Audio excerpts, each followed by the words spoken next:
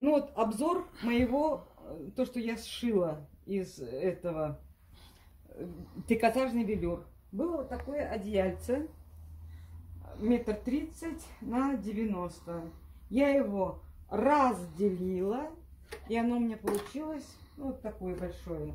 И еще был, сейчас покажу дальше как. Еще был такой велюровый халат. Лежал, лежал, лежал, лежал. Хороший, жалко выбросить. И, в общем, его я взяла, разрезала по пол, на полосы, на полосы вот такие красивые. Все ровненько, клеточка в клеточку. И сшила вот этим трикотажным швом. Я сшила между собой.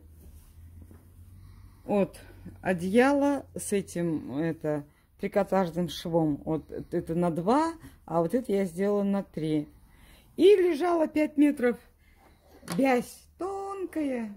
Сейчас такую не выпускают. Вот я ее сшила вот сюда и снутри вот так вот прострочила. И у меня получилась вот такая ерунда.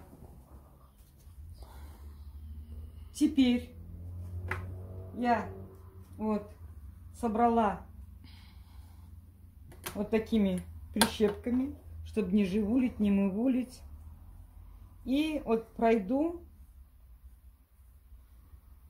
по вот, вот этому, между этим и этим, там же шов.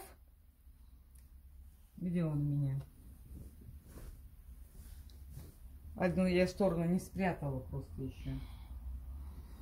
Вот вот этот шов, который, вот этот шов, я его хочу пройти с двух сторон, и оно будет как бы держать одеяло. Ну, покрывало, одеяло.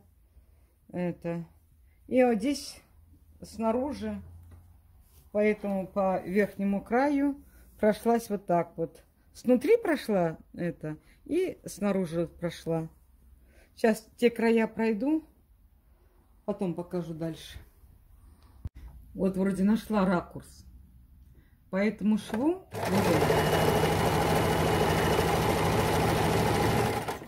я для чего? Вот видите, он растягиваешь, когда э, это получается как будто ровная строчка, а это трикотаж, он не будет рваться. Вот так вот придумала так. Дальше покажу потом. Три-четыре прищепки. Вот это покажи. Вот это стоит. Показала? Все.